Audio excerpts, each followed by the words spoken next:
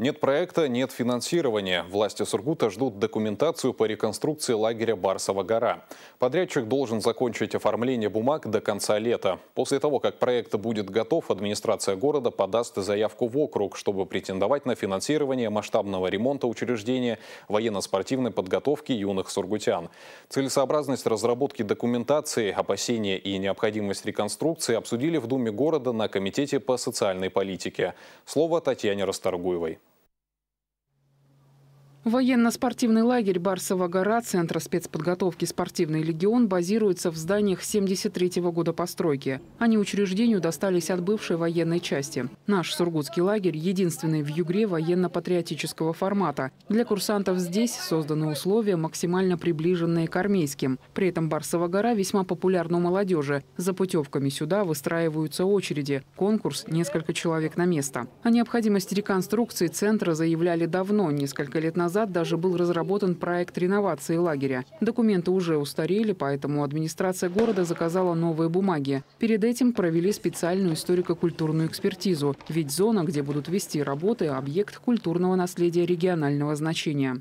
Проведена у нас историко-культурная экспертиза на данную территорию. Согласно выводам этой экспертизы, э, на основании требований к осуществлению деятельности в границах территории объекта культурного регионального значения, э, в котором предполагается реализация вышеуказанного объекта, запрещается строительство зданий и сооружений высотой более 10 метров от уровня земли.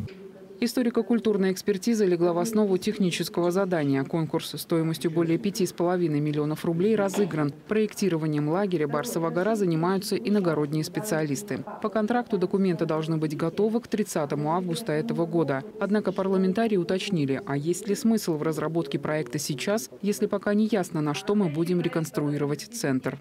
Не получится ли так, что этот проект устареет у нас, э, прежде чем будут выделены средства и начало строительства, и мы потом опять будем с вами корректировать эти на Комитете по социальной политике прозвучало, что округ готов финансово помочь с реконструкцией лагеря, но выделят деньги на работы не раньше 2024 года. Впрочем, есть в Югре еще одна программа – адресно-инвестиционная. В ее списках есть Барсова гора, причем стоит проведение работ на 2022.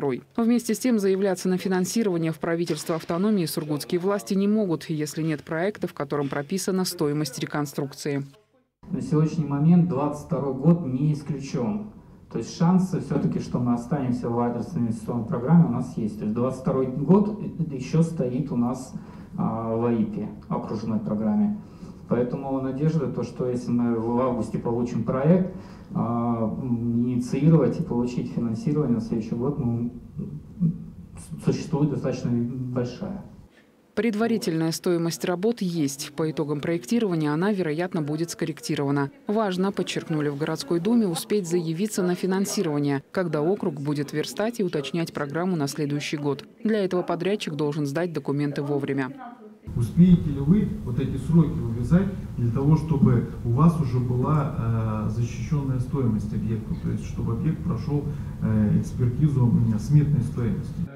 В Департаменте архитектуры и градостроительства отметили, что к 30 августа проект не только должен быть готов, он также пройдет экспертизу. В любом случае, необходимая на реконструкцию Барсовой горы сумма будет понятна и без нее. Парламентарии договорились вернуться к вопросу в июне. В первый месяц лета будет яснее, идут ли в графике специалисты по проектированию. Татьяна Расторгуева, Дарья Давыдова, Владимир Федоров, Сургут Интерновости.